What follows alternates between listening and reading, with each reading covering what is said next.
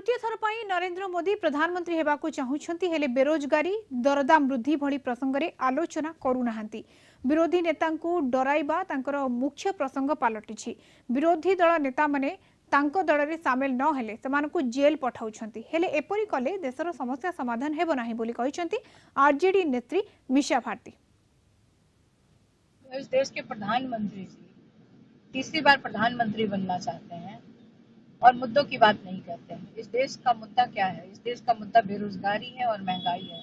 इसमें प्रधानमंत्री जी क्यों नहीं बात करते हैं? प्रधानमंत्री का एक पसंदीदा सब्जेक्ट है। विपक्ष के नेताओं को डराना, धमकाना, अपने दल में शामिल करना और जो उनके दल में शामिल नहीं होते हैं, उनको जेल भेजना। प्रधानमंत्री जी कभी भी किसी को भी जेल भेज सकते हैं, लेकिन उस जेल भेजने से देश के युवाओं को रोज़गार मिल जाएगा, नौकरी मिल जाएगी।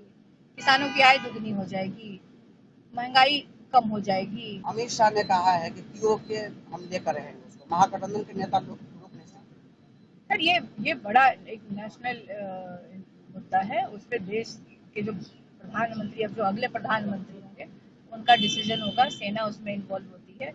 और इस पर मैं क्या कहूँ? इस पर क्या कमेंट करूँ आप तो ये चौदह में भी बोलते थे।